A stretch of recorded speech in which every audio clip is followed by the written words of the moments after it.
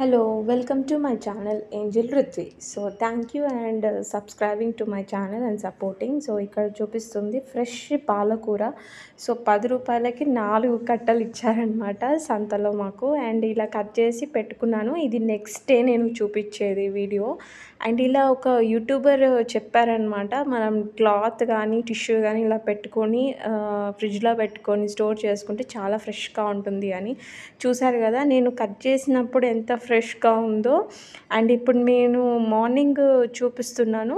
అంతే ఫ్రెష్గా అనిపించింది. చాలా నైస్ ఐడియా అనమాట so everyone has to follow this.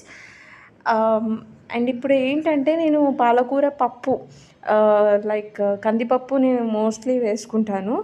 And ఇలా అన్ని ఆకుకూరలు వెజిటేబుల్స్ మనం అలా స్టోర్ చేసి క్లాత్ కానీ టిష్యూ కానీ పెట్టుకుంటే చాలా బాగుందన్నమాట ఫ్రెష్గా అండ్ ఇలా నేను కుక్కర్లో వేసుకున్నాను. ఒక గ్లాస్ కందిపప్పు తీసుకున్నాను అంతే. అండ్ ఇంకా పాలకూర కొంచెం అంత పసుపు ఆయిల్ వేసి నేను ఇలా ఉడకబెట్టుకుంటున్నాను అనమాట సో ఇది ఏంటంటే నేను చూపించేది ఇప్పుడు ఓకే. మనము ఇలా పాలకూరని పెట్టేసుకోవాలి. పుదీనా గోంగూర ఇలాంటివి ఆకుకూరలు పచ్చిమిర్చి అయితే కాడలు తీసి కూడా మనం దేంట్లోనైనా స్టోర్ చేసి పెట్టుకోవచ్చు అనమాట అండ్ ఇది పుదీనా.